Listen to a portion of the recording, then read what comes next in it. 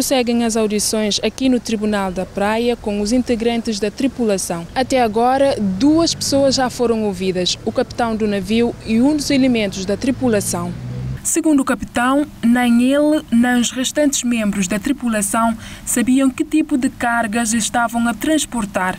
Afirma que ele e mais três outros tripulantes estavam a trabalhar num outro navio virado para transporte de cargas congeladas e foram contratados por uma agência russa para trabalharem no Ézer, entre a Europa, África do Norte e Caraíbas.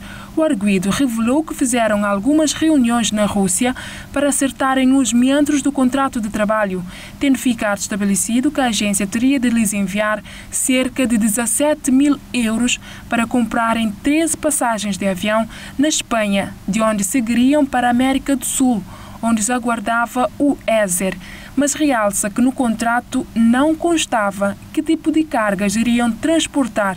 Admitiu que essa carga poderia ter sido introduzida no navio no Panamá, onde fizeram uma curta paragem por causa de uma avaria no motor. Para além do capitão, foi também ouvido um dos elementos da tripulação, o julgamento dos russos começou na segunda-feira, 27, e deve prolongar-se até o dia 31 de janeiro. Um forte dispositivo de segurança foi montado ao redor do Tribunal da Praia, com polícias armados a controlar o lugar.